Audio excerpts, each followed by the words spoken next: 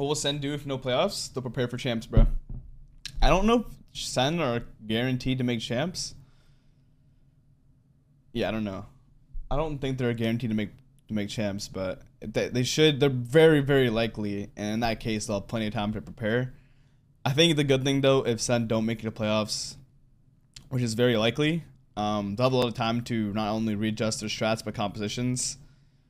Um, I think a lot of people know how they play. Everyone's obviously studying Sentinels because they were the number one team in the last season. You know, winning kickoff and winning Madrid. So because of that, everyone's fucking studying these guys, and everyone knows how they play. So they no longer have that surprise factor, which is like you need every advantage you can get in this type of matches. And obviously, you know, Sen weren't playing the best Valorant they've played in their lives, but it also helps to, ha to have the, those advantages. So good thing for Sen is that they'll have time to uh, prepare.